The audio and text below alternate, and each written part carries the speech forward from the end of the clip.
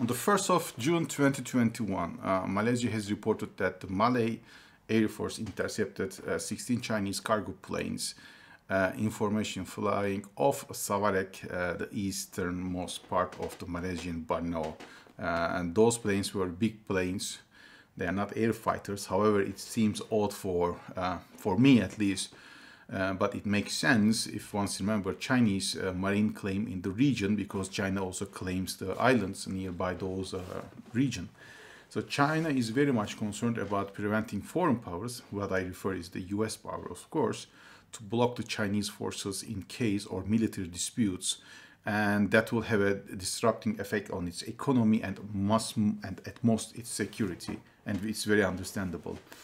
Uh, in order to address such concern, China seems to focus on uh, pressuring weak states with its economy and military, which would pave the road to regional hegemony since it has no its uh, air base or navy on those regions close by.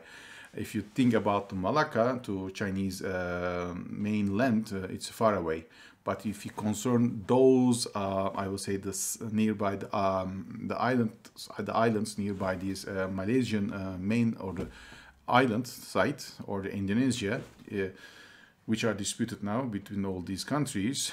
But if China is going to have its air base and navies over there, uh, then they will uh, close, uh, they will be much more close to Malacca Strait in terms of military conflict if it arises, which I will expect it should be one day with US. And then uh, somehow uh, its intervention to those uh, Malacca Strait and taking the security for the trade routes will be much more easier for China.